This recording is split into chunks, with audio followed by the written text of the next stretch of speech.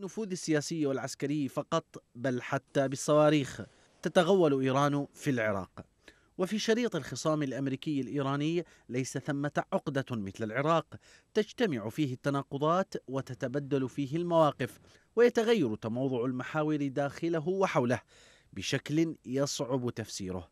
ولم يكن في يوم أكثر توترا مما هو عليه الآن بحكومة متهمة بفساد ملياري وشعب يعاني من الاحتلال وآثاره وطرفان شرقي وغربي يتحالفان مرة ويختلفان أخرى. في يدي الحرس الثوري الإيراني عصا طويلة يلوح بها إن أراد التهديد لكن أن ينقلها إلى وكلاء محليين فإن الدلالة الزمانية والمكانية للحدث. استدعت تصريحا أمريكيا.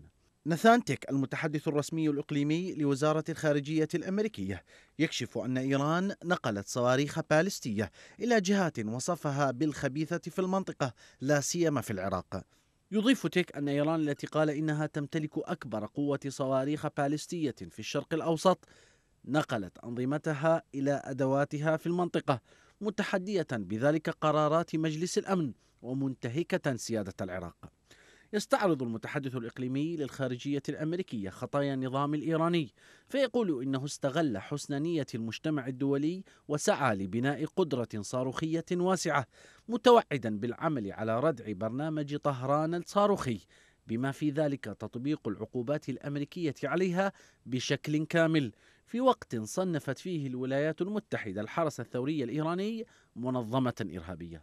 لكن من زاوية أخرى يبدو أن المسؤول الأمريكي أغفل سؤالا جوهريا تكمن في إجابته عدة سيناريوهات. أين كانت واشنطن عندما نقلت إيران الصواريخ إلى العراق ولها آلاف الجنود المنتشرين فيه؟ سؤال يحيل إلى حقيقة وهدف الغزو الأمريكي.